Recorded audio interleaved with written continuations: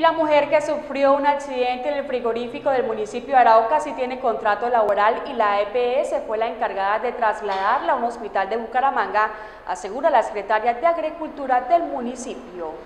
La Secretaría de Agricultura Municipal confirmó a este medio de comunicación que doña Nelly Contreras, que sufrió un accidente en el frigorífico de Arauca, sí tiene contrato con administración. Desde el momento que en el Consejo Municipal me, me citaron y me invitaron para que explicar este tema, siempre lo dije, tenían contrato, no todos porque el frigomatadero exige alrededor de 25 operarios, no tenemos sino 18.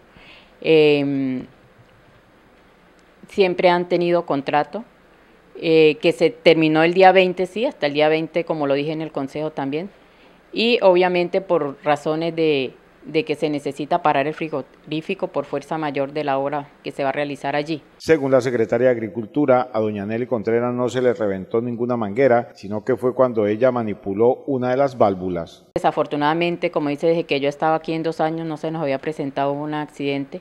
No fue que hubo que se reventó una manguera, como dicen algunos, hubo mucha desinformación eh, fue de pronto que a ella al manipular la válvula se abrió, la abrió, se abrió con mucha fuerza y le agarró vuelo la, la, manguera, que es lo que dicen los compañeros que estaban al lado.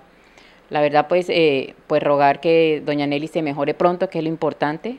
De ahí en adelante, pues ellos determinan si toman alguna acción de tipo legal contra el municipio, pero la verdad que se ha tratado de, de llevarle la mejor manera, de apoyar a su familia, la que quedó aquí con su no desampararla y obviamente apoyarla a ella con los gastos adicionales que tienen en su atención que se está haciendo en Bucaramanga. La EPS de Comparta la remitió a la ciudad de Bucaramanga y los medicamentos también se les están entregando. Claro, ella se remitió a la empresa, la, remitió por contributivo a la empresa a la cual ella está afiliada y los, eh, los medicamentos que no son POS, obviamente se lo está eh, suministrando pues la, la alcaldía, algunos que son muy pocos, porque no no han requerido así medicamentos muy costosos tampoco, pero sí se le apoyó a ella para los gastos adicionales en, en Bucaramanga, del acompañante. Doña Nelly Contreras está afiliada a la EPS Comparta con el sistema contributivo. La remitió Comparta, contributivo. Usted sabe que Comparta ya, ya tiene subsidiado y contributivo.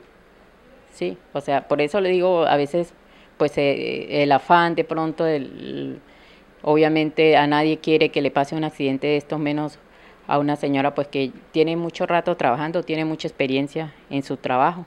Doña Nelly lleva, venía de la administración pasada o viene de la administración pasada. Entonces una señora que no puede decir de, de que no tiene experiencia, de que no conoce, no, a cualquiera nos puede pasar en cualquier momento un accidente. También se le está prestando las ayudas a las personas que la acompañan en la remisión en la ciudad de Bucaramanga.